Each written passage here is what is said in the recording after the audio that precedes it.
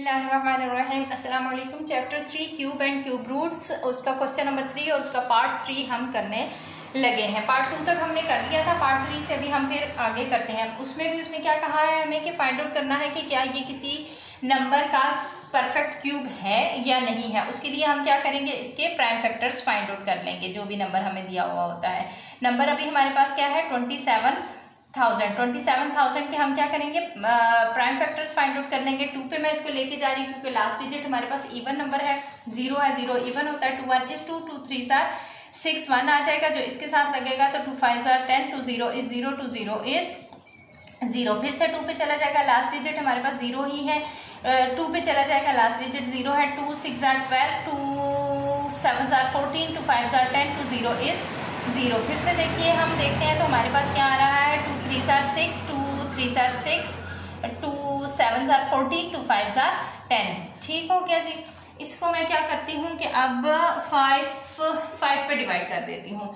Five पे करती हूँ तो क्या आ जाएगा? फाइव सिक्स ज़ार थर्टी आ जाएगा हमारे पास और five seven are thirty five आ जाएगा और five five are twenty five आ जाएगा। फिर से इसको फाइव पे डिवाइड कर दें। Five one is five, one बचेगा। Five three are fifteen, two बचेंगे। Five five are twenty five आ जाएगा। फिर से इसको फाइव पे ही डिवाइड करते हैं हम। Five two are ten five seven are twenty five आ जाए हाँ जी five seven five seven are thirty five आ जाएगा। थ्री आ ट्वेंटी सेवन आ गया। थ्री के टेबल का नंबर है। Three nine are twenty seven three three are nine और थ्री वन इज़ थ्री ठीक हो गया? ये देखने से ही पता चल रहा है कि ये एक परफेक्ट क्यूब है। देखिए, ये टू का क्यूब ये फाइव का क्यूब ये थ्री का क्यूब इसको हम यहाँ पे लिखते हैं पहले।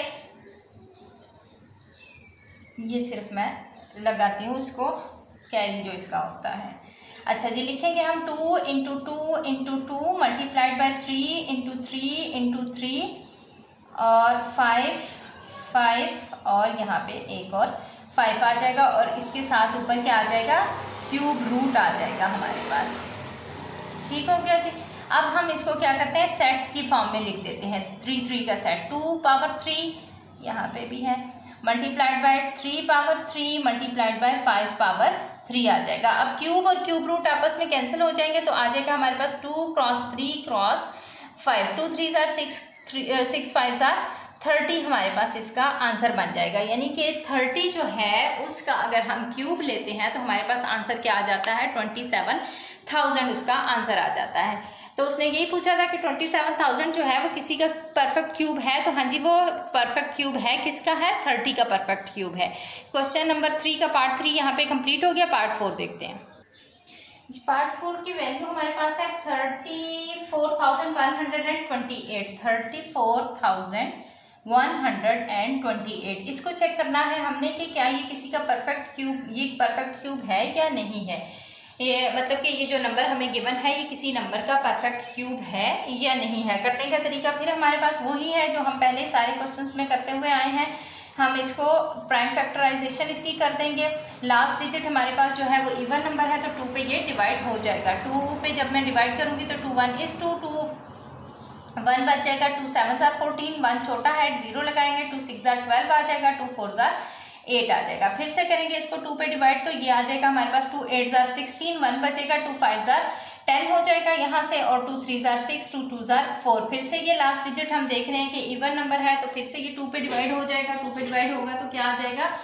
Two four are eight two two are four one बचा two six are twelve two six are twelve again two पे two two are four two one is two two three are six two three are six. अब हम इसको देखते हैं तो three plus three six seven eight और nine मतलब कि ये थ्री के टेबल का नंबर आ गया है हमारे पास। थ्री का मल्टीपल बन रहा है। तो थ्री पे डिवाइड कर देते हैं। Three seven are twenty one three one is three one is seven eight और नाइन फिर से थ्री का नंबर है। Three two are six seven one eleven हो जाएगा ये, और three three are nine ten और इलेवन टू बच जाएँगे। Two three seven are twenty one उसके बाद ये हमारे पास बन रहा है seven eight nine ten eleven और ट्वेल्व फिर से ये थ्री के टेबल का ही नंबर हमारे पास आ रहा है। Three seven are twenty one two बच जाएँगे three nine are twenty seven हाँ जी three nine are twenty seven last digit हमारे पास आ गया है सेवनटी नाइन सेवनटी नाइन जो है, ये किसी भी नंबर से डिवाइड नहीं होता।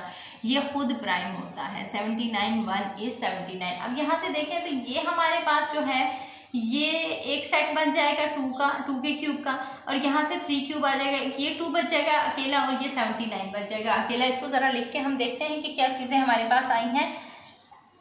इसको मैं लिखूँगी तो मेरे पास क्या क्या है? Two multiplied by two multiplied by two multiplied by two one two three four हाँ जी, और फिर है three multiplied by three multiplied by three नीचे लिख रही हूँ थ्री और सेवेंटी नाइन अब मैं अगर इनकी पेयरिंग करती हूँ उनको सेट बनाती हूँ तो ये सेट बन जाएगा, ये वाला इसके साथ सेट बन जाएगा, ये और ये अकेले रह जाएँगे। हमारे पास क्या आ जाएगा? Two power three multiplied by three power three multiplied by two और मल्टीप्लाइड बाय सेवेंटी नाइन अब जब हम इसको सॉल्व करेंगे, इसका क्यूब रूट लेने लगेंगे तो ये टू और थ्री तो सॉल्व होके हमारे पास आ जाएगा बाहर।